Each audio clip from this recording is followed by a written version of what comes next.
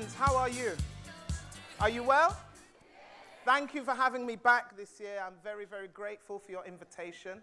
First things first, Mr. Lighting Man, can we have the lights up on the audience so I can see their beautiful? Ah, look at them.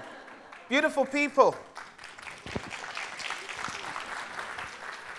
So, um, my time is limited, so I'm going to kick straight in, but I'm going to start with a, something that someone said to me a long time ago about stories and their function. She said that stories are like a bitter pill. The lesson that we have to learn about life is contained in this bitter pill. But the twists and turns of the story, the diversions, is the sugar coating around that bitter pill so that we can swallow the lesson easily. So, with that in mind, I'm going to tell you my first story. If you want to hear my story, when I say crick, you say, the people at the front, I can hear you. The people at the back, sit up. Crick! Crick! Crick! Once upon a time, there was an old lady. She lived deep in the forests on the beautiful island of Martinique in the Caribbean Sea.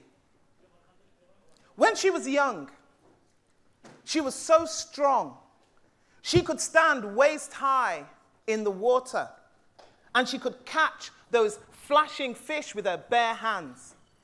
When she was young, she was so strong that she could climb into the arms of the mango tree and pick and pick and pick as many mangoes as she could carry. Those she would throw down to her husband or she would throw down to her son. When she was young, she and her husband would sit by the banks of the river, looking deep into each other's eyes, sending each other the message of no. You know me already. There's no such thing as love. There is only love. They would look into each other's eyes, sending each other the message of love. Are you feeling it? But now she was old. Her husband had died a long time ago. Her son and her grandchildren, they never came to visit. Her hands were weak. She could no longer catch those flashing fish. She could no longer climb that mango tree. She could no longer tend her kitchen garden. And so she was confined to eating one thing and one thing only wild watercress. So she had watercress soup she had watercress pie. She had watercress salad. She had watercress shake. She had watercress, watercress, watercress, watercress, watercress. She was up to here with watercress. It had been so long since she sucked on a juicy chicken bone.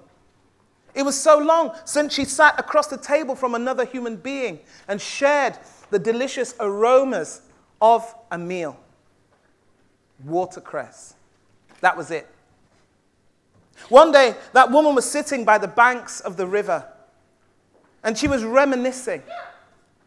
She was thinking about the time she and her husband would sit there together. She had tears in her eyes when she wondered why her son never came to visit. And as she was sitting there, she became aware of a movement in the undergrowth. She stood up and she saw there a bird a beautiful bird, a bird she'd never seen before. She didn't know its name, she didn't know what to call it, but the bird, its feathers, from the tip of top of its head down to its tail, were blue. And then its wings were pink. And the bird obviously had a broken wing. And as she looked at that bird, it reminded her of a song she used to sing to her son. There stands a bluebird, tra la la la. There stands a bluebird, tra la la la. Give me sugar, coffee, and tea. Give me sugar, coffee, and tea. Now, you know me, and you know I don't sing on my own. So I'm going to teach you the song. There stands a bluebird, tra la la la. There stands a bluebird. Give me sugar, coffee, and tea. There stands a bluebird. There stands a bluebird. Give me sugar, coffee, and tea. Sugar, Now show me emotion, tra la la la. Show me emotion. Give me sugar, coffee, and tea. Now dance around the ocean. Dance around the ocean. Give me sugar, coffee, and tea. And as she remembered that song, she remembered how much her son loved nature and loved birds. And so she lovingly bent down and she picked up that bird and she stroked it. And she could feel its heart fluttering. But as she stroked the bird, it became calm. She said, I'm going to take you home. I'm going to take care of you. She took that bird home. She put it on her bed. At night, she would sleep with the bird clutched to her breast. She would stroke its head. There stands a bluebird, tra la la la. There stands a bluebird. Give me sugar, coffee, and tea. One day passed, two days passed, three days passed, and every day she would rub oils on the bird's broken wing. Every day she would share some of her watercress with the bird. Every day the bird got stronger and stronger until finally the bird could flap its wings. Till finally the bird could fly around her house. The bird would perch on her shoulder, on her finger, on her head. She was so happy to have that company, but she knew that this bird was not for keeping. This was a wild creature. And even though it broke her heart, she knew that when the bird was strong enough, she would have to release it. And so one day, the bird perched on her finger. She left her house. She went outside. She walked back to the banks of that river. She stroked its head. Goodbye, my friend, she said. I wish you could stay, but I'm sure you have a family somewhere. Goodbye, and safe travels. And she let the bird go. The bird took to the air, circled three times, and disappeared into the clouds. And the old woman she was alone once more. And she would sit there by the banks of the river and she would scan the sky. Perhaps a friend would come to see her this day. One day passed, two days passed, three days passed, and on the fourth day, as the old woman sat there by the banks of the river, who did she see circling above her head but her friend, the bird? She said, Hello, my friend. How glad I am to see you. And the bird was carrying something in its beak. The bird opened its beak, and this thing fell to the ground. The woman picked that thing up. It was a pumpkin seed. A pumpkin seed, she said. I can plant this pumpkin seed. I can grow pumpkins. That means I can eat something other than watercress. She was so excited. She took the pumpkin seed home. She planted it outside her house. Every day she lovingly watered the pumpkin seed. Every day she spoke to the pumpkin seed. She encouraged the pumpkin to grow. And little by little, first a green shoot, and then another, and then long curling trails. As the pumpkin grew bigger and bigger and bigger, it was so big. And when that fruit was ripe, the old woman's mouth began to water when she thought of all the different things she could make with that pumpkin that was not watercress. She went into her house, she brought the knife, and very gently she cut that pumpkin away from its stalk. And she took it into the house, she put it on the table, and she imagined roasted pumpkin, boiled pumpkin, fried pumpkin, pumpkin risotto. She took a knife and she began to cut the pumpkin in half. And to her surprise, instead of the pumpkin being filled with pumpkin seeds and pumpkin flesh, it was filled with beautifully cooked food. What do you think was in the pumpkin? Chicken was in the pumpkin. What else was in the pumpkin? Beef was in the pumpkin. What else was in the pumpkin? Steak was in the pumpkin. What else was in the pumpkin? Fish was in the pumpkin. Anything you can imagine tasting was in that pumpkin. And the old woman, she ate and she ate and she ate and she ate and she, oh, ah. The old woman had a neighbor. She wasn't a friendly neighbor. She wasn't the kind of neighbor you wanted to stand with at your gate and have conversations with. She was a nosy neighbor. She was always getting involved in other people's business. And she was always reminding the old woman that her son never came to visit. Oh, my son came to see me today. Your son didn't come. Oh, dear. never mind. My son sent me a parcel. Oh, your son didn't send you a parcel. Oh, dear. Never mind. My grandchildren came. Oh, you haven't seen your grandchildren for how long? Oh, well. Never mind. And even though the neighbor was annoying, the old woman knew there was too much food in the pumpkin for just herself. So she said, Well, I have one neighbor and one neighbor only. I will share the contents of my pumpkin with my neighbor. And so she took that pumpkin, she walked through the forest till she came to a neighbor's house. She told her neighbor everything that had happened. And the neighbor said, Oh, really? Mm, you're so kind, thank you. And she ate and she ate and she ate. And every day when the old woman woke up, there was a new pumpkin. And every day she would cut that pumpkin, she would eat half, and she would take the other half to her neighbor. But, as my mother used to say, some people have bad minds. And the neighbor was no different. And she began to think to herself, why should I share her leftovers? I want my own pumpkin. I deserve my own pumpkin. So she decided to go and find a blue bird. She walked down to the water's edge. She scoured the shoreline for the bird. She looked in trees, in bushes. She couldn't find the bird. And then one day, she heard a flapping of wings. And there was that blue bird pecking at the earth, pulling out worms, perfectly healthy, both its wings intact. That neighbor took a stick. You know what she did? With one, the wing was broken. She snatched up that bird, she took it home, she threw it in the corner of her house. Every day she would throw scraps at the bird. She didn't sing to it, she didn't massage it with oil. She didn't care for it and love it. And after three days, even though the bird's wing wasn't fully healed, she took that bird and she threw it up into the air. She said, Bring me a pumpkin seed and make it quick. And every day she went out and she scoured the sky looking for the bird. Stupid creature, where is it? I want my pumpkin seed. After three days, she saw it circling above her head. It was listing to one side because its wing hadn't healed properly. And in its beak, it had a pumpkin seed. And it dropped the pumpkin seed. About time, said the old woman. About time. She picked up that pumpkin seed and she went to her house and she planted it outside her house. And every morning, when she made yellow water, if you know what I mean, she would pour the content of her pea pot onto the plant.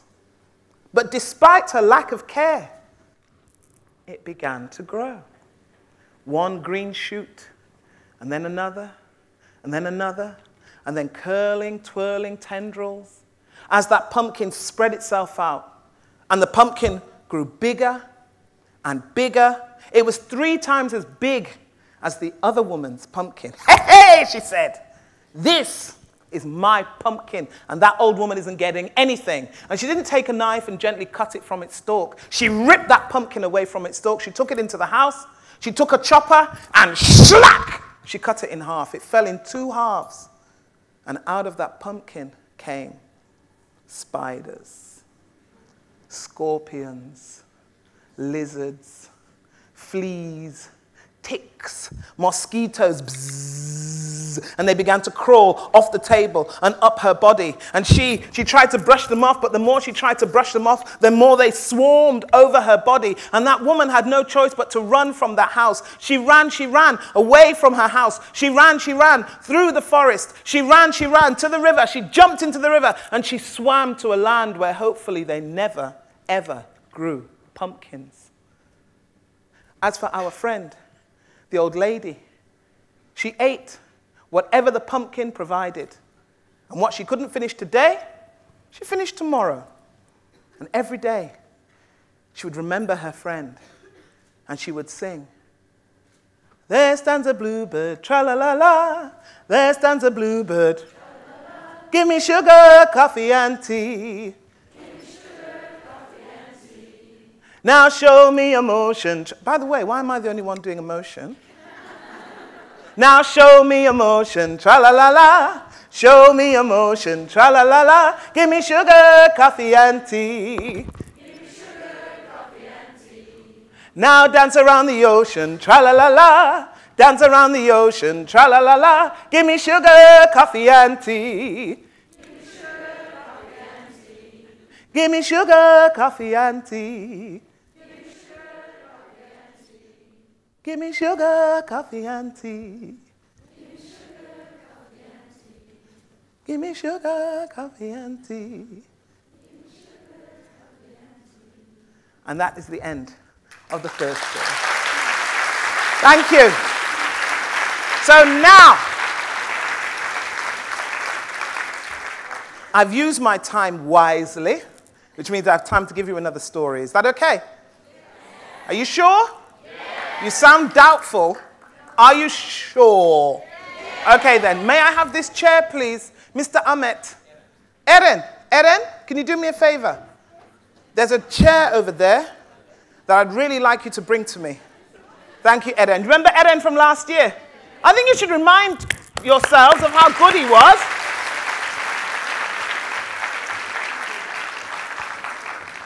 And his uh, pantalon action was very good. Thank you, Eden. Thank you. You're a good boy. So, this uh, story requires some percussion, um, which I don't have. So, I'm going to use my my womanly legs. Let's call them womanly legs. Okay, can you hear this? Can you hear that? You sure? At the back, can you hear that? Now, if you can keep this rhythm, you can play with me. But if you can't keep this rhythm, don't, okay? In England, I always have to say, no, let, let me do it. Because they just can't keep time. No disrespect, no disrespect, no disrespect, no disrespect, no disrespect. But they can't keep, no disrespect, no disrespect. But they can't keep time, generally speaking. So I'm going to, actually, I'm going to slow it down a bit.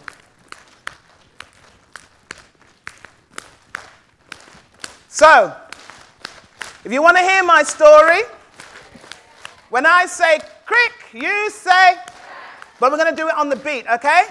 Crick, crack. Crick. Crick. Crick.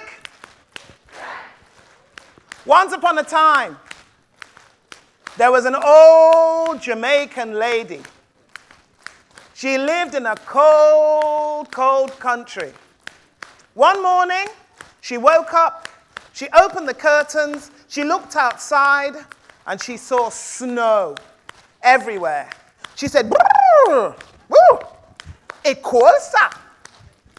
I'm going to make myself some cornmeal porridge. You call it polenta. We call it cornmeal. Going to make myself some cornmeal porridge.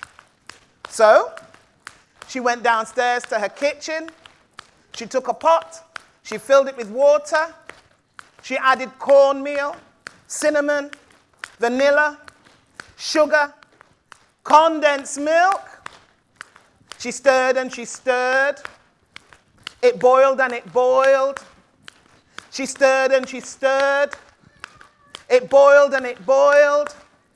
And when it was quite ready, she took the pot off the stove. She went to the cupboard to get a bowl. But when she turned back, the porridge and the pot were gone. She looked up she looked down. She looked right. She looked left. And sitting in the doorway was her cat, which had once been very, very thin and was now very, very fat. She said to the cat, Hey, little cat, why are you so fat? I'll tell you why I'm so fat. I've eaten the porridge, the whole pot too, and now I'll eat you. Hum! Ate that sweet old lady and got a little plumper too. And then it went for a walk, and its paws went pad, pad, pad, pad. What did they say? Pad, pad. On and on she walked until she came to a short, fat man. We're going to call him Short, Fat, and Squat.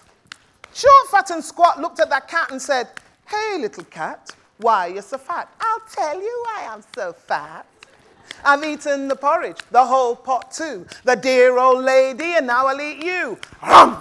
Ate that short, fat man and got even fatter too.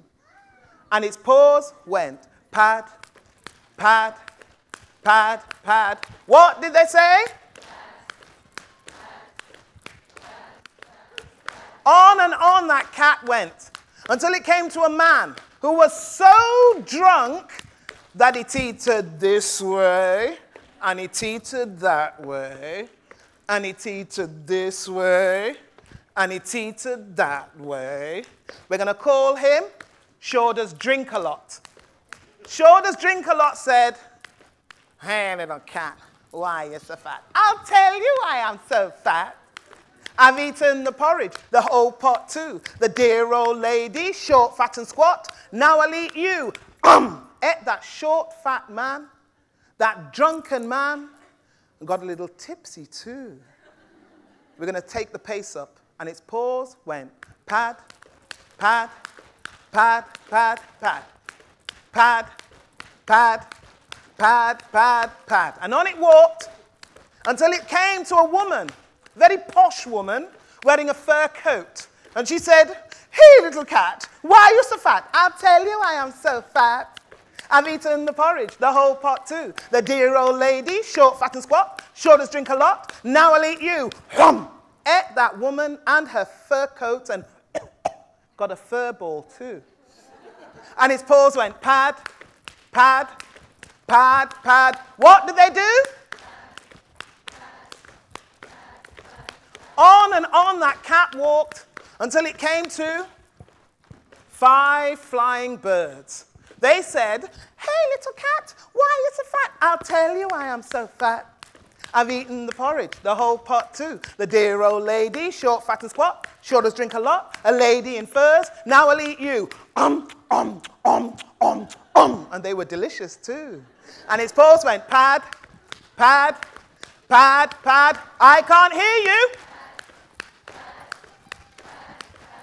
On and on that cat walked until it came to seven dancing girls. And they said, Hey, little cat, why are you so fat? I'll tell you why I'm so fat. I've eaten the porridge, the whole pot too. The dear old lady, short, fat, and squat, does drink a lot. A lady in furs, five flying birds. Now I'll eat you. Um, um, um, um, um, um, um. And not only did they look delicious, they tasted delicious too. And their paws went pad, pad, pad, pad. What did they do? On and on that fat cat walked until it came to a very good girl. She must have gone to Ihlas College because she was sitting there and she was reading a book. And she looked up at that fat cat and she said, Hey, little cat, why are you so fat? I'll tell you why I'm so fat. I've eaten the porridge, the whole pot too. The dear old lady, short, fat as squat, does drink a lot. A lady in furs, five flying birds, seven dancing girls. Now I'll eat you. Um, ate the girl and the book and became very clever too. And its paws went pad, pad, pad, pad. What did they do? On and on that cat walked until it came to a bishop wearing his mitre, carrying his crook. And he said, Hey, little cat, why are you so fat? I'll tell you why I'm so fat. I've eaten the porridge, the whole pot too. The dear old lady, short, fat, and squat, sure does drink a lot. A lady in furs, five flying birds, seven dancing girls, a girl with a book. Now I'll eat you. Hum! Ate the bishop and his crook and became very holy too. And his paws went pad, pad, pad, pad. What did they do? In the distance, in the forest, a woodsman. Chop, chop, chop, chop, chop. What was it? The cat was interested. Swish, swish, swish, swish through the dry grass. Swish, swish, swish, swish through the dry leaves. Swish, swish, swish, swish, swish. The woodsman looked at that fat cat and said, Hey, little cat, why are you so fat? I'll tell you why I'm so fat. I've eaten the porridge, the whole pot too. The dear old lady, short, fat and squat, does drink a lot. A lady in furs, five flying birds, seven dancing girls, a girl with a book, a bishop with a crook, and now I'll eat you. No, said the woodsman. You can't eat me. I'm chopping firewood to take home to my family. This cannot be. But that cat was very greedy, and he opened his big mouth and he leapt towards the woodsman. And I'm sorry to anyone who owns a cat. The woodsman took his axe, he swung it high up in the air, and he went, Are you ready? Chop, chop. I don't believe you. That cat fell in two halves, and out of the cat came backwards the bishop with the crook, the girl with the book, the seven dancing girls, five flying birds, lady in furs, shoulders drink a lot, short, fat and squat, the dear old lady, the porridge and the pot. And the old lady said, Oh, that's what happened to my cornmeal porridge. She said, Would you like to come home with me and have a nice traditional Jamaican breakfast? And they said, Oh, yes, please. So she took them all to her house and she put the pot back on the stove and she stirred and she stirred and it boiled and it boiled and she spoke to her guest. And she stirred and she stirred and it boiled and it boiled and she spoke to her guest. And when it was quite ready, she turned around to take the pot off the stove and the porridge and the pot were gone. She looked up, she looked down, she looked right, she looked left, and who was sitting in the doorway? The cat. She said, Hey, little cat, why are you so fat? I'll tell you why I'm so fat. And you know what? If the story begins again, it will never end. and that is the end of my story.